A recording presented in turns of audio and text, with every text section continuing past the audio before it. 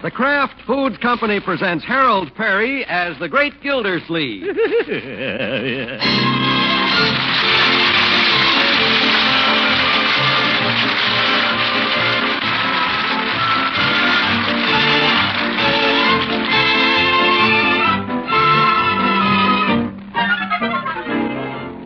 The Great Gildersleeve is brought to you by the Kraft Foods Company, makers of the famous cheese food Velveeta. Everybody goes for Velveeta's rich yet mild cheddar cheese flavor in snacks, in sandwiches, and in hot dishes.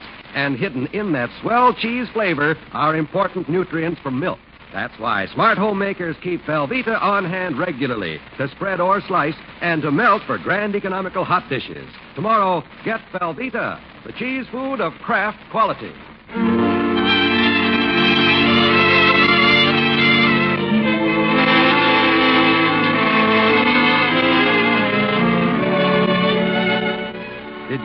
Have one of those days when everything seems to go wrong?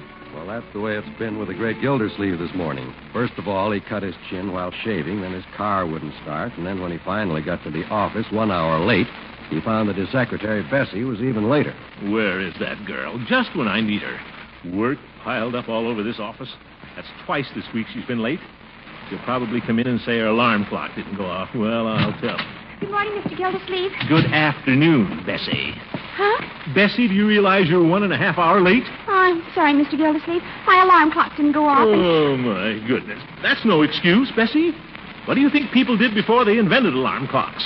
They went to work in those days, too, you know. How do you suppose they woke up? I don't know, Mr. Gildersleeve. How did they wake up? Well, I suppose uh, let's not stand around asking foolish questions, Bessie. There's work to be done. Yes, sir. What are you staring at me for? You cut your chin when you shaved this morning, Mr. I know that, Bessie. Does it hurt? No, it feels fine. Will you please get to work? Yes, sir. Where shall I start?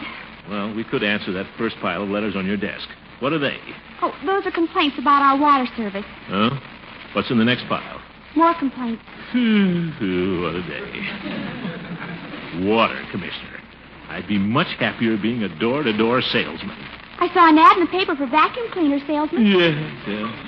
I'll stick it out a few more days, Bessie. But a man can take just so much. Little drops of water can wear away a stone. I'm a patient man, Bessie, but. Now, who's that? Come in. Morning, Commissioner. Oh, hello, Charlie. Hello, Mr. Anderson. Charlie, why aren't you down at the waterworks? Because I'm up here in your office.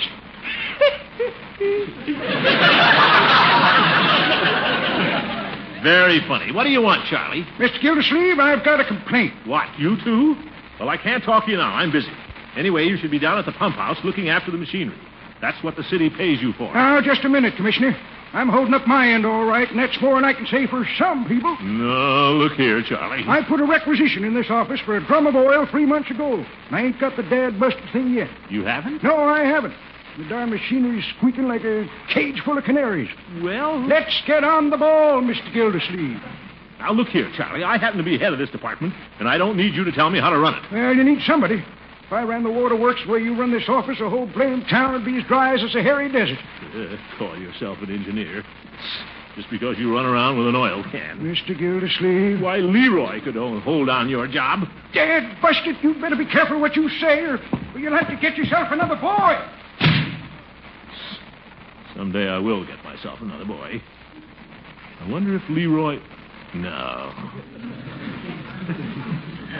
well, Bessie, let's get started. Yes, sir. All this work staring us in the face will probably be here till all hours. Looks like we're going to have to burn some midnight oil. But I thought we didn't have any oil. Figure of speech, Bessie. Well, I'll start with the morning mail. Don't just sit there, Bessie. There's no law against both of us working at the same time, you know. Yes, sir. Let's see here. These are probably more complaints. Well, what's this? A letter from radio station WSUM. What are they complaining about? They're not complaining about anything, Bessie. They think I'm doing a wonderful job. They do. Yeah, that's right. Listen to this. Dear Mr. Gildersleeve, because of your fine record as water commissioner, we would greatly appreciate you being our first guest speaker on our new weekly radio series, Let's Get Acquainted with Summerfield.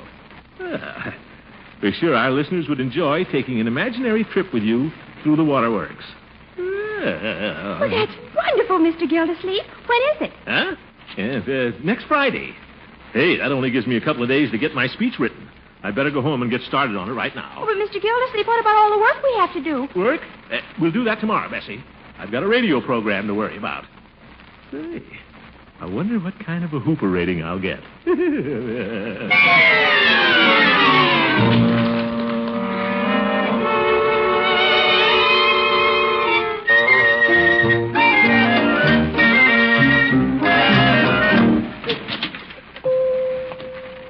Ah, good morning, Peavey. Well, hello, Mr. Gildersleeve.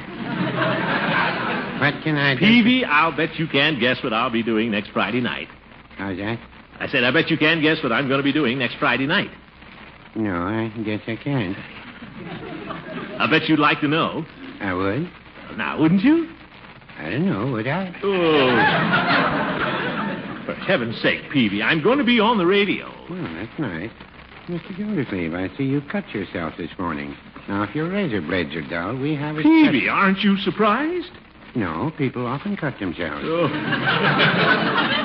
I said I'm going to be on the radio. Of course, if you're not interested. Oh, I'm interested, Mr. Gildersleeve. What sort of a program are you going to be on? A quiz show? No. I'm going to make a speech.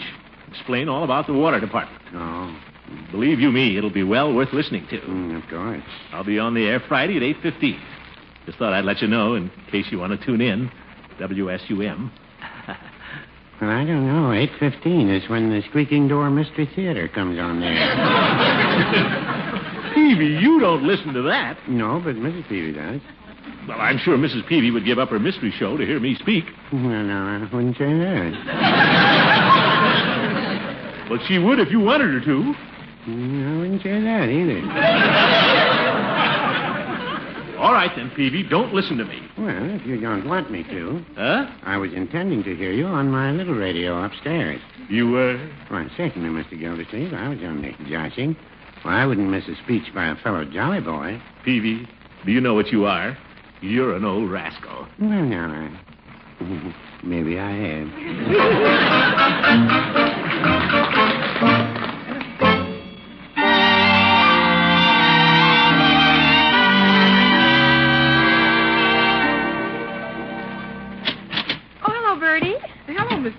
Birdie, I saw Uncle Mort's car outside. What's he doing home so early? He's in his study. Been up there all afternoon. What's he doing in there? I don't know, but it must be something mighty important. He's in a do not disturb mood. Oh, well, I'll just go in and tell him hello. Well, if you want to take a chance, but he's in a do not disturb mood. Oh, that's all right. Dun, dun, dun, da, da, da. Hello, Unky dear. Oh, hello, Marjorie. What are you doing? I'm trying to write a speech. A speech? What for? Your old uncle has been asked to make a speech about the water department on the radio. On the radio. That's wonderful. Not so much, just in the line of duty. Poor Unky. You look like you've been working awfully hard. Birdie says you've been in here for hours. Well, a thing like this requires a lot of brain work, you know. Yes. Let me see what you've written. Well, it isn't quite. Unky, is that all you've done? Just one line? Well, Marjorie, I'll thank you to retire from the room immediately, pronto. okay, Uncle Mort. All afternoon to write one line. Oh, dear. Didn't know this was going to be so much trouble. I could only get past this first line. Let me see. Ladies and gentlemen, as your water commissioner, I bring you the story behind your faucet.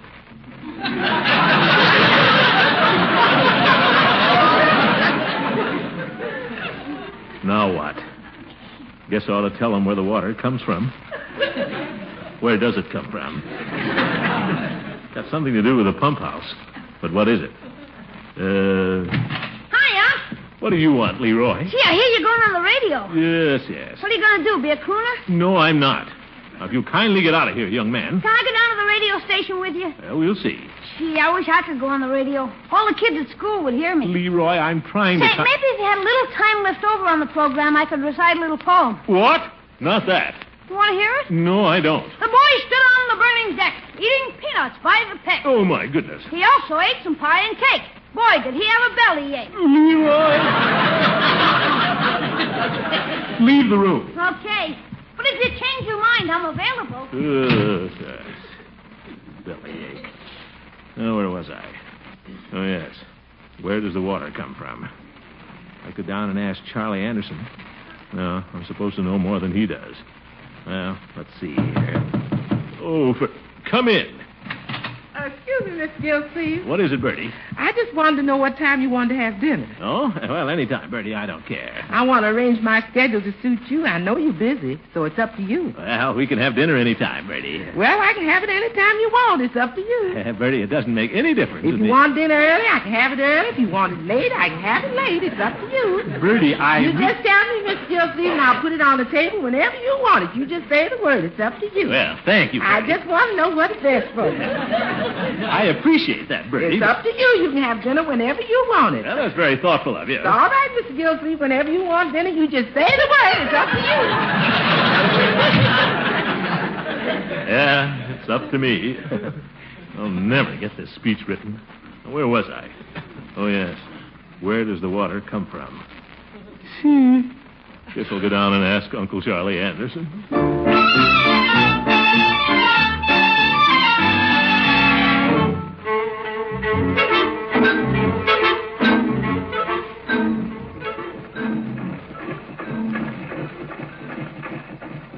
Charlie! Uncle Charlie! Yeah, yes, he's in the pump house. Oh. Charlie! Charlie! Well, it's the commissioner. What are you doing down here? I want to talk to you. Well, Dad, bust it. Go ahead and talk. I can't talk with all that noise in here. Can't you turn off that pump for a minute? Turn off the pump. Why, you darn fool. If I did that, I'd shut down all the water supply in town. Oh, well. Turn off the pump. you call yourself a water commissioner. Charlie, I wonder if you'd step outside a minute. Well, all right, and make it snappy. Charlie! Uh, Charlie, Well, what's on your mind? Charlie, I'm going to speak over the radio. Well, there's a lot of darn fools talking on the radio already. I guess one more won't hurt. Yes, uh, they want me to tell them what I know about the water department. Well, that won't take you very long. Anybody that wants to turn off the water pump can't know very much. Yeah, that's right. Well, there are a few technical details I wasn't quite sure of, Uncle Charlie, and I thought maybe I might get them from you. For me, well, I can't tell you anything. You're the big shot that knows everything. But, All I do is run around here with an oil can. now, That's what you said this morning. well, I know, but I was only kidding. Uh, you can't get much information from a fellow that just runs around with an oil can. No oil. But, but, Charlie, I... I'm afraid I can't be much help to you. You'll have to talk to an engineer. What? So long, Commissioner. Charlie, who's going to help me with my speech? Don't ask me. Looks like you'll have to get yourself another boy. Oh, dear, why did I ever go on the radio?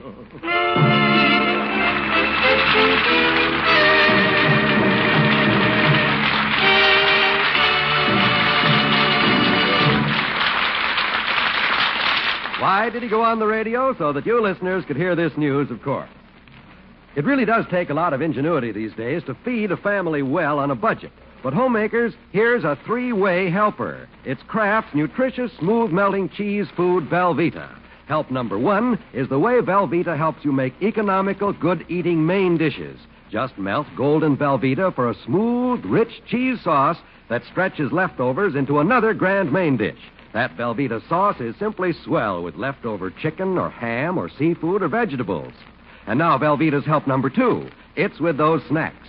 If you'll buy the two pound Velveeta loaf, you'll have plenty of this cheese food to spread as well as for cooking. And with Velveeta, you're handing out good, wholesome snacks because this cheese food is rich in important milk nutrients, digestible as milk itself. Now, let's think of those quick noon meals. Here's Velveeta's help number three sliced golden Velveeta thick for sandwiches. And there you have a satisfying, nutritious luncheon in a jiffy. All the folks at your house will go for Velveeta's rich yet mild cheddar cheese flavor. Let Velveeta help them with meals and snacks often. Get the two pound loaf. Look for the name Velveeta when you buy.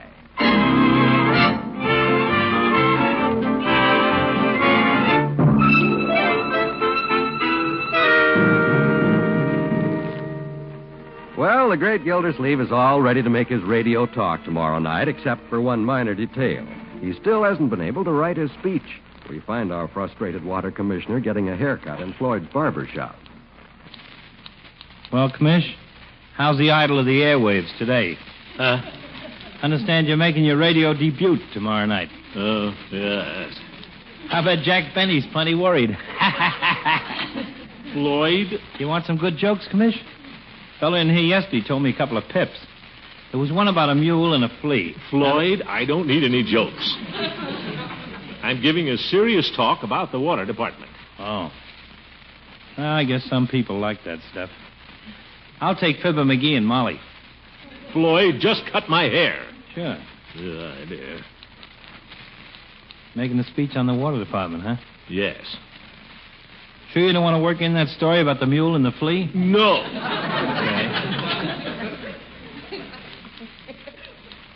Got your speech all written, Commish?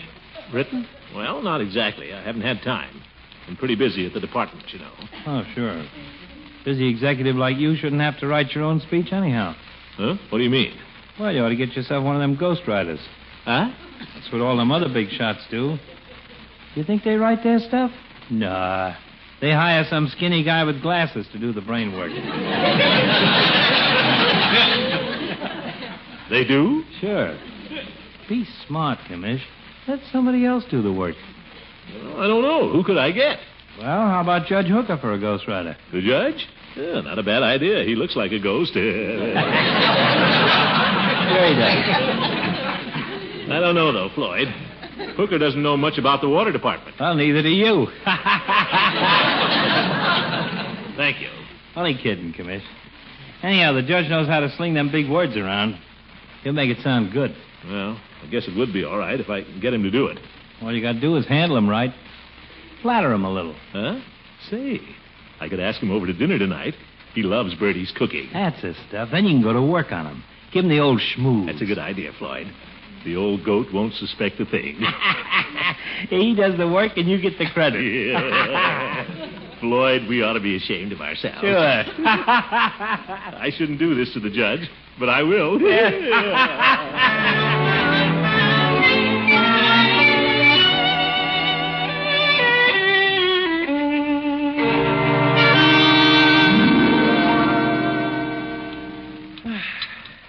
It was very thoughtful of you to invite me over to dinner tonight, Gildy. it's all right, Judge, old friend. It was a pleasure, wasn't it, children? Oh, yes. Sure. More uh, coffee, Horace? Well, I really shouldn't, Gildy, but I can't resist Birdie's coffee. It's nectar from the gods. Uh, That's plenty, thank you. have a cigar? Fine cigar. Cost 27 cents. Well, thank you. Here, let me light it for you. what a service. Thank you. Uh, you're very welcome. Uh, If you spoil me like this, I'll be over every night. yeah. Well, we'd be very happy to have you, wouldn't we, children? Of course. Leroy? Huh? Oh, sure. Uh, Judge, a little later on, there was something I wanted to talk to you about. No rush, of course. well, I'm glad you're in no hurry, Gildy. It's a pleasure to just sit here at the table and savor these last few drops of coffee. Oh, of course. You know, sitting here with you and your children takes me back to my childhood. In fact, it reminds me of an incident that I'm sure you'd all like to hear. Oh, I'm sure we would. Well, it was a cold winter Oh, morning. pardon me. Uncle, may I be excused? I have some homework to do. Yeah, me too. Uh, now, children, your homework can wait for a little while. It isn't often that you get to hear one of the judge's fascinating stories. Okay. Go on, Horace. We're all ears. Well, as I was saying, it was a cold winter morning, and there I was, just a little tight, trudging through the snow. I must have been ten at the time. No, I guess I was only nine. No, I think I was ten. well, anyway, there I was on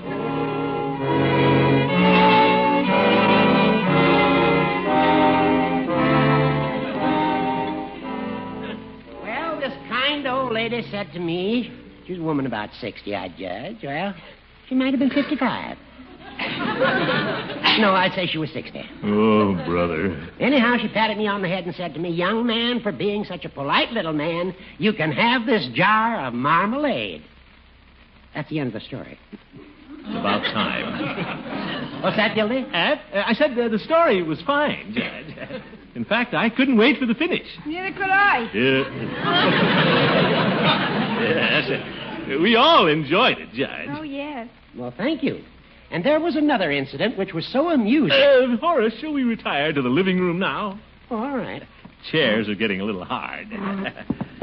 I'd like to discuss something with the judge now, so you children may be excused. Thanks, Unc. Now, Gildy, you wouldn't deprive an old bachelor of the joy of listening to the children's happy voices. But, Judge. Now, let's all sit down here in the living room and have a nice little chat. well, it's very pleasant. Yeah. Well, children, I suppose you're both pretty proud of your uncle. Proud? Huh? Yes. I understand he's been asked to deliver a talk on the radio tomorrow night, and that's quite an honor. Yeah, I guess so. But if you don't mind my saying so, Gildy, it's a good thing you're not appearing on television. I don't think they could find a big enough screen.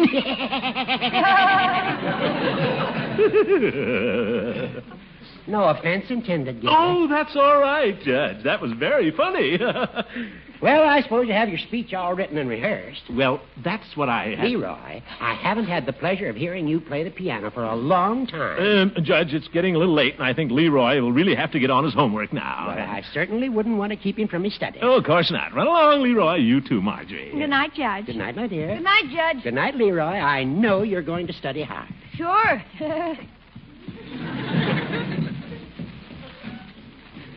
Well, Judge, certainly glad you came over tonight. Oh, bourgeois.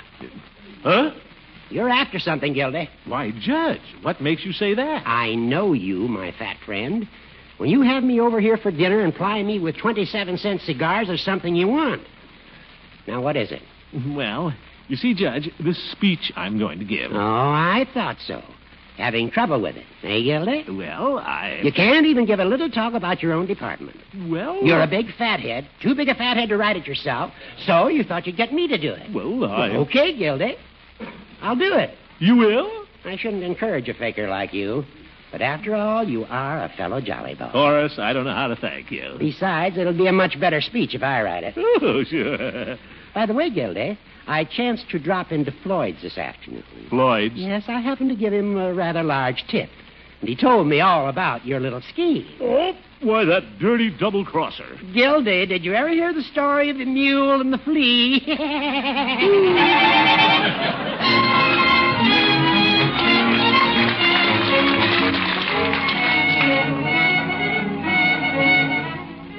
That's right, Adeline. I'll be on the air tonight at 8.15. WSUM. Hope you'll be listening, Adeline. You will? What's that? The speech. Oh, no, it wasn't much trouble to write. Nothing to it. Goodbye.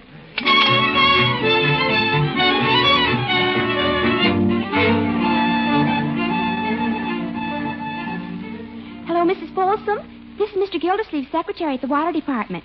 He asked me to call all our subscribers and tell them about his radio speech tonight. Yes, 8.15. Hope you'll tune in. Goodbye.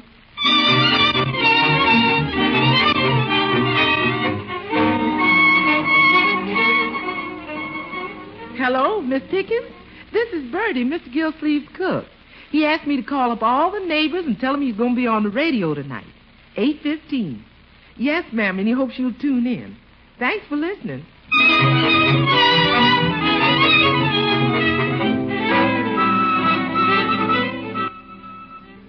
Hello, Piggy.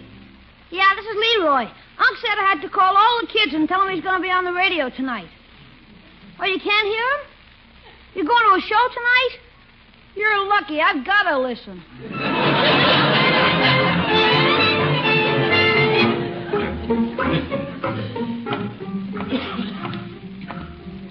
Let's see. They said to come to Studio A. Yeah, that must be it. it's the only studio they've got. I hope the judge is here with my speech. He would wait till the last minute, the old goat. Oh, well, it was nice of him to write it, though. Uh, hello? Oh, Mr. Gildersleeve? Uh, yes, sir. I mean, yes. I'm Mr. Benson, the station manager. Oh, how do you do? You're late. Oh, well, I. You know, I have to look over your speech before you go on the air. The speech? Uh, yes, station policy. Uh, May I have it, please? Well, um, I don't have it with me. What? Uh, you see, Judge Hooker is writing it. I mean, uh, he's typing it. The judge? yes, he, uh, he types much faster than I do. He uses the touch system. Oh. see, I'm a hunt and peck man myself. Yes. He ought to be here any minute, though. Well, he'd better be. I've got to go over it. We'll have to cut three minutes off your speech. If you will? Yes, so we can broadcast the results of the Summerfield Horseshoe Tournament. For the horseshoes. Well, that's all right. Anything you say, it doesn't really make much sense. Hello, Gildy. Well, I've got your speech. I just finished writing it. Um, Judge, uh, this is Mr. Benson, the uh, station manager. Oh, how do you do? How do you do? Yes, sir, Gildy. If I do say so myself, it's one of the best speeches I've ever. That, thanks a lot, Judge. Looks like an excellent typing job. What? Well, it's almost time to go on the air. Uh, may I see the speech, please? What for? I have to look it over, you know, in case we want to make any changes. Yes, uh, just a few little changes, Horace. You won't have to make any changes in this speech, young man. It might be termed a little classic of rhetoric. A gem. Well, we'll see about that. Anyway, we'll have to cut out three minutes. What? We need time for the horseshoe tournament. You mean you would dare to hack up this work of art? And now, Judge, it's only three Uh, minutes. if you'll please give me the speech. We haven't much time. We'll not cut one syllable. Uh, Judge. Don't you worry, Gildy. I'll protect you. Protect me? What? Eh, Look, gentlemen, we'll have to hurry. Will you give me that speech? Don't worry, Mr. Benson. He'll give it to you. No, I won't. He's not going to push you around, Gildy. But it seems to me you have a lot to say about this for a typist. Typist? Yeah, um, um, he's only kidding, Judge. No, I'm not. Do I get that speech or don't I? Young man, rather than let you touch one single comma, I'll tear the whole thing in two. Judge, please. All right, go ahead and tear it. All right, I will. Oh, no, Judge. Yipe! Judge! How can I make the speech? I'll tear it again. Oh, I'll make confetti out of it. Judge! Mr. Gildersleeve, your program is canceled. Canceled? we showed him, didn't we, Gildy? Oh, yeah, we sure did. Uh...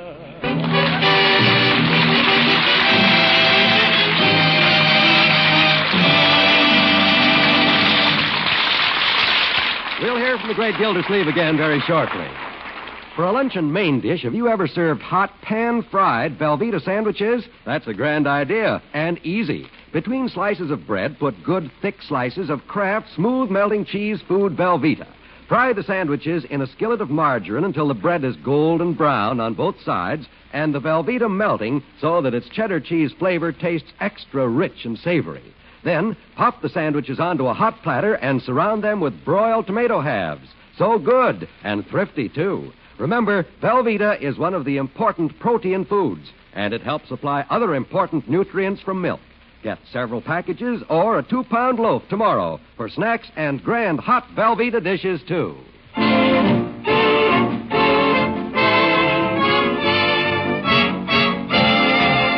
And in the finals, there was a new horseshoe champion crowned tonight when Art Sigmund defeated Lefty Conklin by a score of 21 to 19. It was a thrilling seesaw battle all the way, but Art clinched the title by pitching two double ringers and three leaners. And that concludes our broadcast of the results of the Summerfield Horseshoe Tournament. Thank you for listening. Ladies and gentlemen, you have just heard the horseshoe results brought to you by our guest announcer, Throckmorton P. Gildersleeve. Thank you, Mr. Gildersleeve. You're welcome.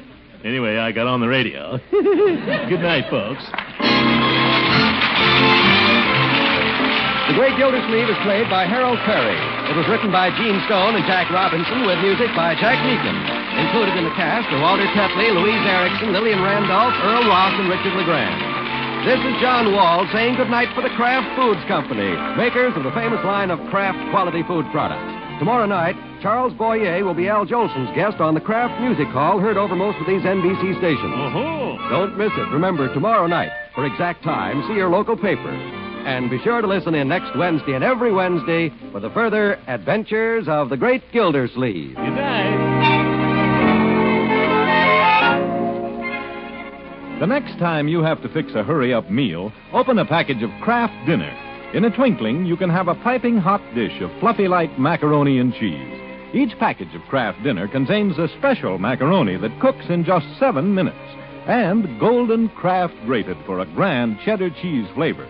Two magic ingredients for making delicious macaroni and cheese in a jiffy. And Kraft Dinner costs just a few cents a serving. For a quick, easy, economical main dish, get Kraft Dinner from your food store tomorrow.